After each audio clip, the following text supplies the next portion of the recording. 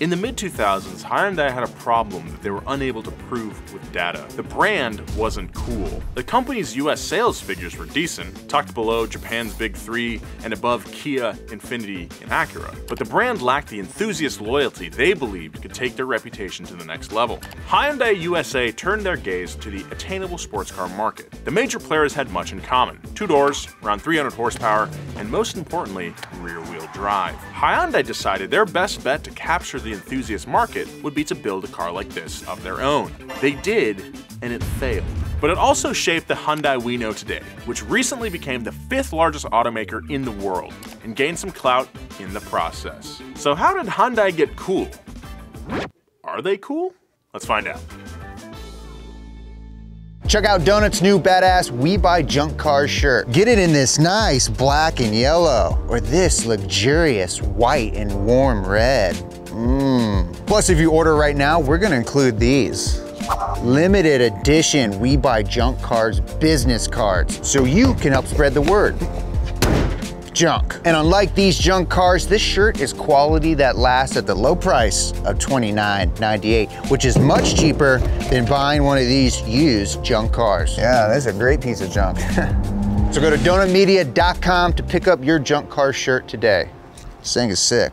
Hyundai's reputation depends on who you talk to, and we'll get to that later. But when they first arrived in America, people all felt pretty much the same. In the mid 80s, the American market for hyper economy cars was becoming underserved.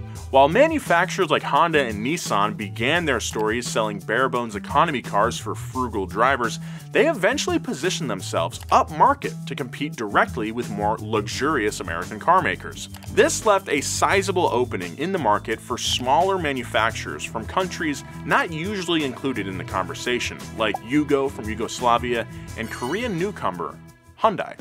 Hyundai's first car in America arrived in 1986. The somewhat ironically named Excel made nearly 70 horsepower, and that's kind of the only interesting thing about it.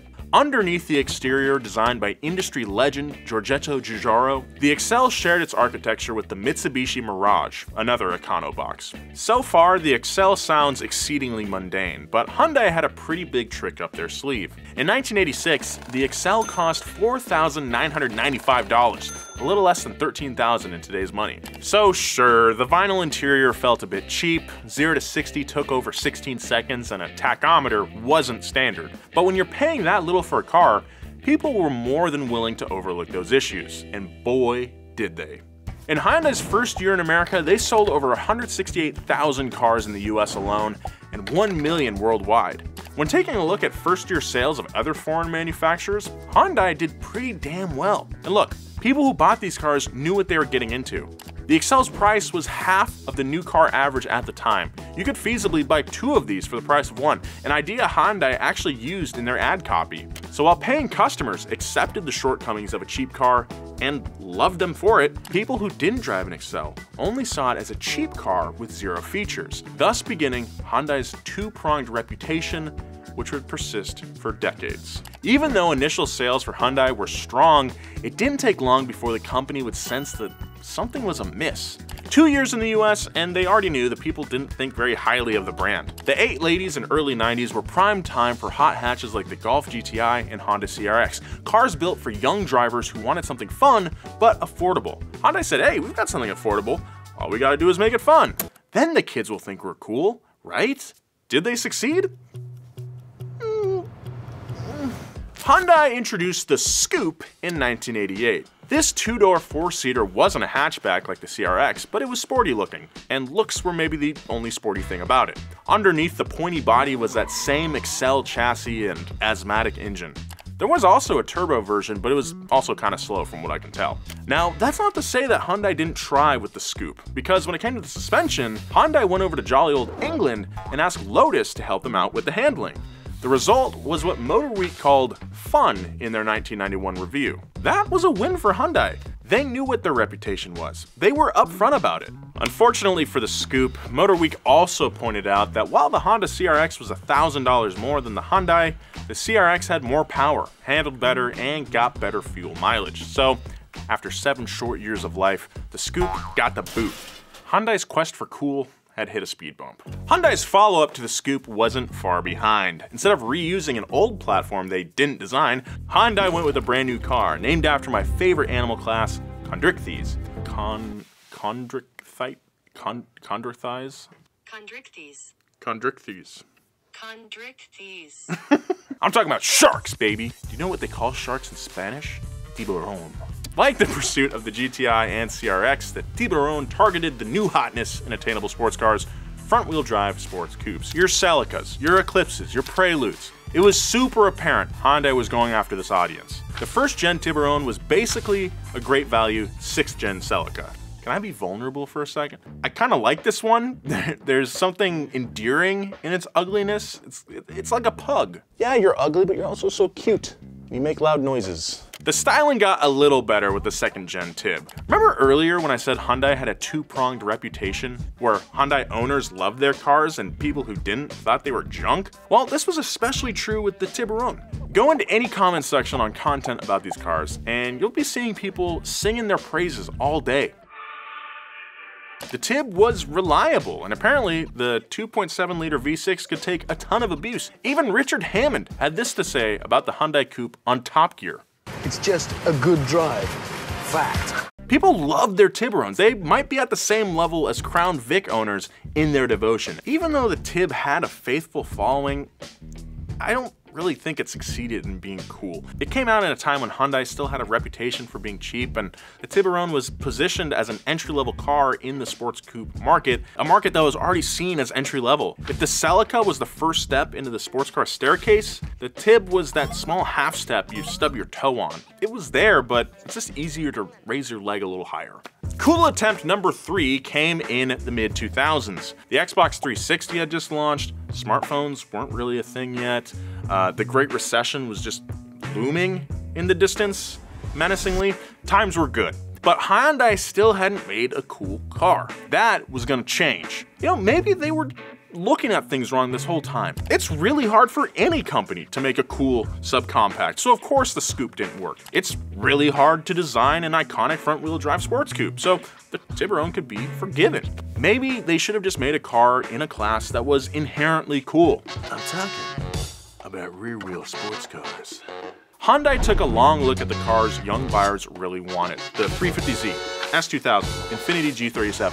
If they could just build something like that, maybe things would be different this time around. What they came up with was the 2010 Genesis Coupe. This thing checked all the boxes. Rear wheel drive, independent rear suspension, two door, multiple engine choices including a turbocharged option, manual transmission, and affordable. If you put all those attributes together in a car today, it would be a banger.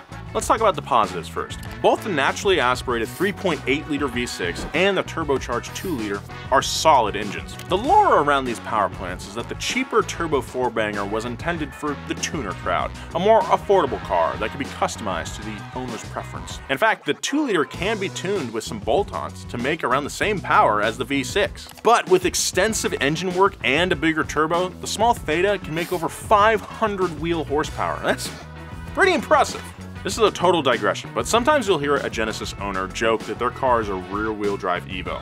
Here's what they mean. Hyundai's Theta four-cylinder engine was designed with the cooperation of the Global Engine Manufacturing Alliance, a consortium between Chrysler, Hyundai, and Mitsubishi. Engines designed in this alliance use similar components and geometries, but they're not really the same. According to this blog post from Pavel Racing Engines, the two engines look similar on the outside, but the only aftermarket parts they can share are some head bolt studs and a head gasket. It's not exactly a carbon copy. So, sorry, Tanner. As for the larger 3.8 liter Lambda V6, that was for someone who wanted to drive the car as it came from the factory. It can also handle nitrous pretty reliably, and from what I've read, that's the best way to make power with this engine. Hyundai was really going after the hearts and minds of car nerds with the Genesis Coupe. Throughout its life, the car was offered with performance upgrades, including a top trim level called Track Edition, which featured beefed up suspension and Brembo brakes. But despite building a legit sports car that even Car and Driver loved in their review, Hyundai still adhered to their thrifty roots. A top trim Track Edition V6 Coupe costs $375 less than a base level Nissan 370Z. But was it cool? Mm, it's it's really hard to say. It's like a reverse Tiburon situation here. The drivetrain was good, the car handled well enough, I just don't think the styling was there. Look at the first and second gen cars and put them next to the competition. Nissan was bringing the heat in those days, and the Genesis kind of looks like a car. I'm sorry to say, it's just not, it's just not cool looking. So Hyundai tried three times and it didn't really work out. But as Thomas Edison famously quipped when asked about his failures when inventing the light bulb, I've not failed, I've just found 10,000 ways that don't make a sports car. With that spirit in mind, Hyundai persisted. Right before the Genesis Coupe's death in 2016, Hyundai made one of the best decisions in company history.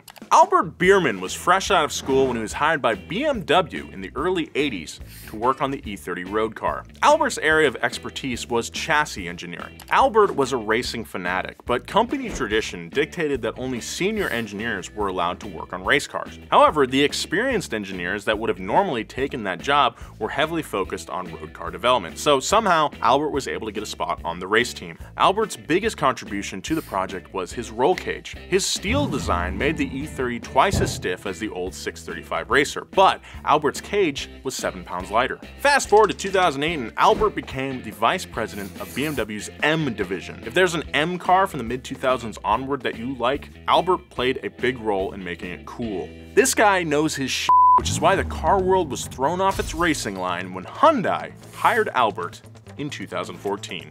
Officially, Biermann was hired as Hyundai's head of vehicle test and high performance division. Albert's first task was sorting out the upcoming G90 executive sedan. But what Hyundai really brought the German to Seoul to do was to build some badass cars. Hyundai was in the preliminary stages of establishing their own performance brand, much like the M division Biermann had just left. They called their skunkworks N for Namyang or Nürburgring, depending on you ask. Namyang is Hyundai's proving ground where the N Division is based, and they also have a research center at the ring, so it works both ways. To date, N Division has cranked out six cars, with three of them available in the US. Over here, we get the Veloster N, the Elantra N, and the Kona N. Over in Europe, they have the 120, 130, and 130N hatchback. The N cars are powered by two engines. The i20N subcompact features a 1.6 liter turbocharged four banger. Hyundai claims that the i20N weighs the same as their WRC Championship rally car. That's pretty sick. I would very much like to drive one. The rest of N's lineup is powered by a 275 horsepower 2 liter engine, and um, these cars freaking slap, dude. Albert Biermann was the special sauce Hyundai needed to turn their okay sports cars into legitimate sports cars. Turns out when you hire a guy who's been building some of the best cars in the world for 30 years, he's gonna build you a good car. But the question remains, are these N cars cool? That's a hard question to answer. Over the course of writing this episode, I realized I didn't really know how I was going to end it. The problem is that cool is entirely subjective. What I think is cool might be entirely different than what you think is cool. The nature of cool itself is extremely fickle. If you try to be cool, you're not gonna be cool. Think about streetwear. A brand that's cool one week can be whack the next. And conversely, things that were once dorky can become cool in time. Hyundai maybe they weren't trying to build cool cars, they were just trying to build good cars. And if publications like Road and Track and Motor Trend or any number of serious car people are to be trusted, the Veloster N is a really, really good car. It took 34 years, but Hyundai finally produced one of the best budget sports cars in the world. That's pretty cool. So where do they go from here? Late last year, Hyundai announced that Albert Biermann would be leaving his role as the leader of the N division. He'll be around to advise Hyundai, but he's no longer at the helm. It's a little sad, but the N division has some pretty sweet stuff in the works, like a mid-engine hatchback that we should be seeing around 2024 really looking forward to that. It's also very likely that the Ioniq 5 EV will get the N treatment, which also has potential to be sick. But I think the biggest key to Hyundai's enthusiast loyalty can't come from Hyundai at all. In my research, something interesting kept popping up in YouTube comments and forum posts. Hyundai owners love their rides, but a common thread between older Hyundai sports cars is that performance almost always plateaued because the lack of an aftermarket. People bought their Scoupes and Tiburons and Genesis coupes, then didn't have a whole lot of stuff to bolt on when they wanted more out of them. Contrast that with the 350Z or WRX, which have an enormous amount of aftermarket support. Luckily, the tide seems to be shifting with the Veloster N. You can get suspension and big brake kits, granted from a small number of vendors, but it's getting better. To their credit, Hyundai has partnered with shops like Bisimoto to show what you can do with their cars in an attempt to stoke the coals of the aftermarket. Use a big old bellow to blow the air on those coals. Partnerships like that are key to get car nerds interested as crazy builds get more press. Hyundai finally found their way to cool with performance. This current crop of N cars have made huge headway in persuading people to join Team Hyundai. On my Instagram, Nolan J. Sykes by the way, I asked people what they thought of Hyundai, and I was blown away by the positive responses. Without N, I don't think they'd be so positive. People whose opinions hold a lot of weight hit me up, saying that Hyundai is the most exciting, accessible brand at the moment. So, whatever they're doing, it's working. Thank you very much for watching Wheelhouse. Uh, I've been knee deep in Hyundai research over the past couple weeks.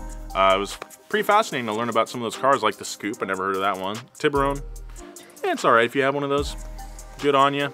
If you've got a cool Hyundai, post some pics, tag me.